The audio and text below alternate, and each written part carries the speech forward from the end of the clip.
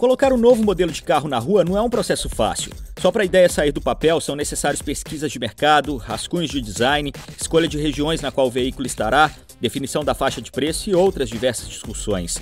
E ainda assim, esse é só o começo. Quando o protótipo do veículo está pronto, ainda é preciso colocá-lo à prova por até 4 anos para garantir que tudo está funcionando 100%. E às vezes, mesmo veículos que já estão nas ruas precisam passar por alguns testes, nos quais problemas pós-fabricação podem ser detectados. Daí que surgem os recalls, por exemplo. Para isso, montadoras mantêm os chamados centros de testes. E para conferir esse processo de perto, nós visitamos o principal campo de provas da Ford, em Tatuí, no interior de São Paulo, onde a ideia principal é fazer em cinco meses o que um motorista normal faria com o carro em cinco anos. O campo de testes da empresa já existe há 37 anos. Tem uma área de mais de 4 mil metros quadrados, com uma equipe de 800 pessoas dedicadas a colocar os carros em situações extremas, com testes como emissão de gases, prova de ruídos e vibração, testes de resistência à temperatura e, é claro, pistas de corrida. Tudo isso não só para buscar problemas na estrutura, mas para aperfeiçoar o desenho de um novo modelo e garantir que da linha de produção saiam sempre veículos padronizados. Você produzir centenas, milhares de é, produtos iguais é um desafio. É um desafio para a Ford e para todo mundo, né? porque você tem é, mais de duas, quatro mil peças em um veículo e todas essas peças elas sofrem variação de produção e você pode ter no conjunto final variações que geram problemas que o consumidor não espera. Mas hoje, é, eu diria que 80% dos testes a gente consegue fazer aqui.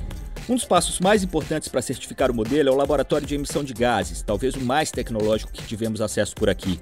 Mas apesar da quantidade de fios, cabos, dutos de gás e computadores espalhados pelo lugar, o objetivo do teste é bem simples: garantir que os gases emitidos pelo carro estejam dentro dos padrões internacionais. Isso quer dizer medir principalmente as emissões de gases poluentes, como dióxido de carbono, metano e o monóxido de carbono. Para isso, o carro é colocado sobre uma esteira e o piloto de testes realiza ciclos de 22 minutos, acelerando e diminuindo para velocidades que vão de 30 até 90 km por hora, para simular o uso normal de um carro no dia a dia. No meio do ciclo, também é feita uma parada de 10 minutos que simula uma estacionada rápida que o motorista normal daria para entrar em uma loja, comprar algo e voltar para o carro, por exemplo. Os gases são então colhidos e analisados em dois pontos diferentes: no escapamento e logo na saída do motor. Se em algum lugar houver alterações nos padrões da indústria, alguma coisa está errada no veículo.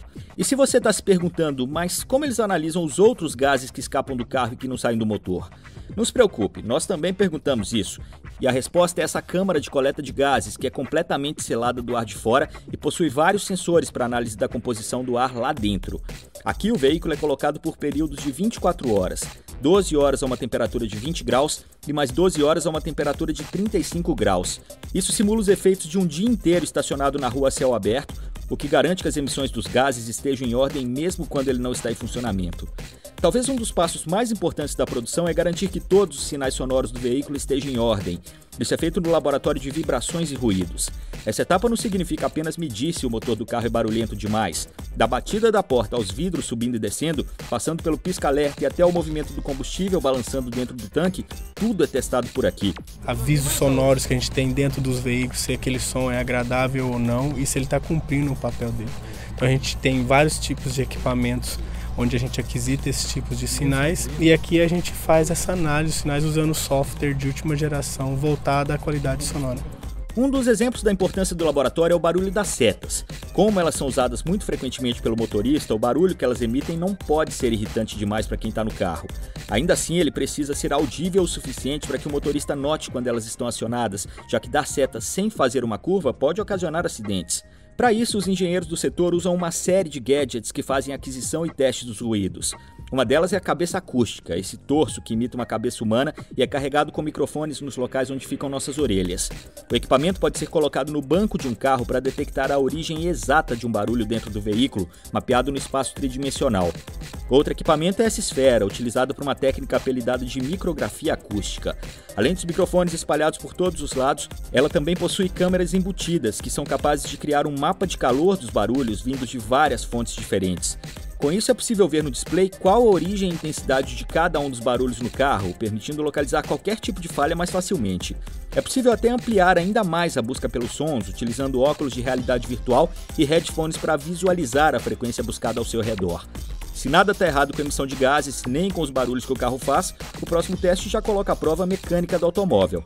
Apelidado de Hydropulse, esse equipamento aqui é desenhado para testar como o carro se comportaria em diferentes tipos de terrenos simulados, avaliando o impacto da estrutura, ruídos e o conforto do motorista.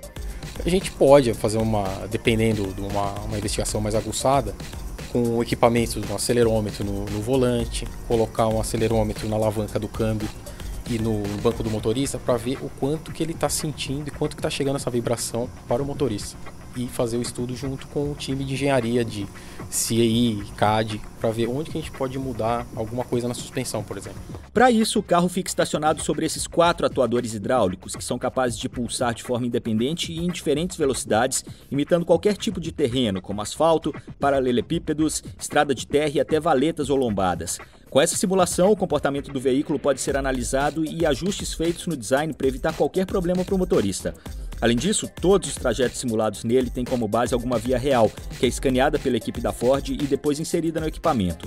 Isso significa que um carro pode ser testado em Tatuí como se estivesse pegando qualquer estrada do Brasil, em algum outro país da América Latina ou até na Europa. Isso permite, por exemplo, que a equipe faça testes remotos de pistas em outros locais, por exemplo, simulando problemas específicos que uma equipe na fábrica de Camaçari, na Bahia, possa ter enfrentado para ajudá-los a encontrar a origem. Mas muito melhor do que testar a resistência de um veículo em um simulador é colocar ali uma pista de verdade para ver se ele aguenta o tranco. Aliás, uma não, sete pistas, cada uma dedicada a um teste diferente com o veículo. No total são 50 quilômetros de pista, sendo 40 de terra e os outros 10 asfaltados. E nas pistas é possível levar o carro ao extremo, fazer curvas de alta velocidade, curvas fechadas, passar por terreno de rampas e colinas, além de trechos de pedras ou cobertos de água. Todas as provas servem para testar a estabilidade, eficiência e capacidade de frenagem. E é só dar uma olhada no estado dos carros para ter uma ideia do quanto eles sofrem. O Canaltech embarcou nessa junto com um piloto profissional para experimentar esses trajetos que dificilmente apareceriam no dia a dia de um motorista normal. Tudo deu certo, mas nossa recomendação é uma só, hein? Melhore antes do almoço. Se gostou, curta aqui embaixo e assine o nosso canal do YouTube. Todos os dias tem vídeo novo para você.